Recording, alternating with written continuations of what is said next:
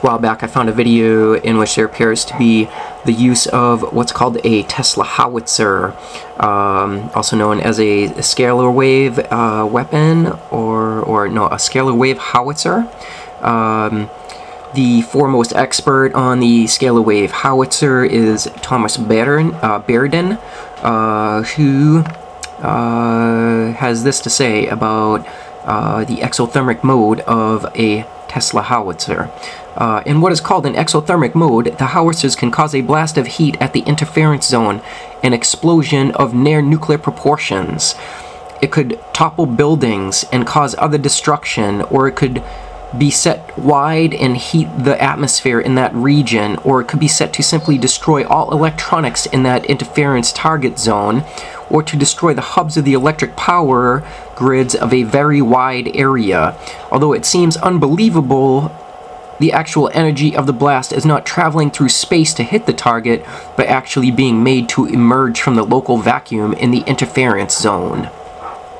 Uh, that last little bit, uh, it seems to me, is disinformation as what is observed in that video from Iraq of a U.S. soldier uh, using apparently a Tesla howitzer on a mosque. Uh, it shows the energy travel from the howitzer to the mosque. Uh, there's a blue glow. Uh, before then, the mosque is destroyed. And um, I'll go ahead and I'll show you what video it is that I'm talking about. Uh, I had been going through my uh, I had been going through my advanced weapons uh, playlist on YouTube, which is available on my channel, and it had occurred to me that this video was not in there, and this is one of the most advanced weapons of all time, and so I figured I should almost definitely make sure that I get it in there, and so I went looking on YouTube for this video, and I could not find it. Uh, so uh, I went out there onto the web, and I found a copy of it on Google, uh, however, I had to create an account on uh, Apache Video website in order to view this video. The video was very low quality. Uh, so I uh, went looking further for it and it took me a little while and finally I found a decent quality uh, version of it on MySpace and uh, the video on MySpace um, it could not be rewound uh, you cannot click within the timeline of the video to rewind it to just be uh, just beyond where the blue wave shoots to the mosque. It um, it enforced that if you attempted to rewind it to that area of the video, it would jump to just beyond that area, just beyond where the explosion had occurred at the mosque, based on the power wave traveling to the mosque. Um, know. so it was one more way to obscure, you know, beyond not publish the stuff in the major media, uh, it was one more way to obscure the existence of this weapon. Here's a video.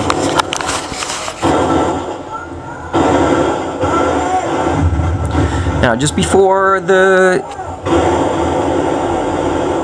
just before the blue flash goes from from the soldiers position to to the mosque he yells fire in the hole which is to say uh, he was aware that there was an explosion about to occur.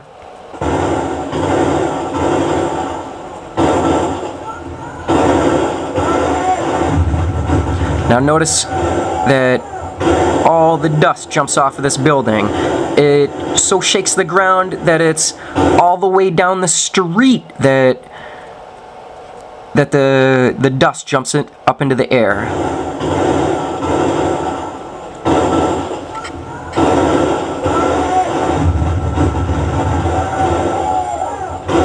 So there is essentially a mini earthquake that occurs all the way down this street.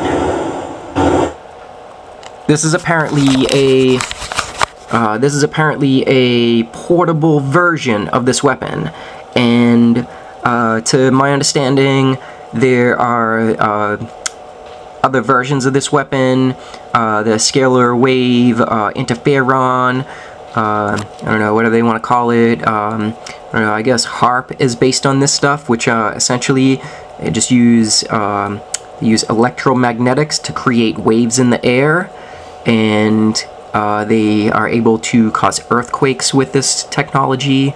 Uh, they're able to affect weather patterns. Um, uh, they could uh, either heat or cool an area.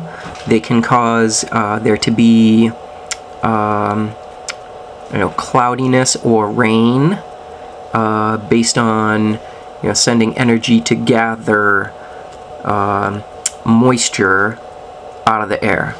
And uh, obviously uh, the destructive potential of this weapon is huge and it's definitely something that people should be aware of that you know there are certain obviously uh, hugely psychotic minds that are wielding these weapons and you know controlling warfare globally.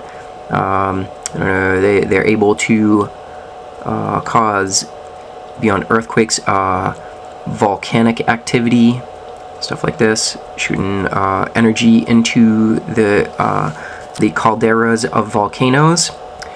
So uh, this is uh, is a it's a technology people should be aware of.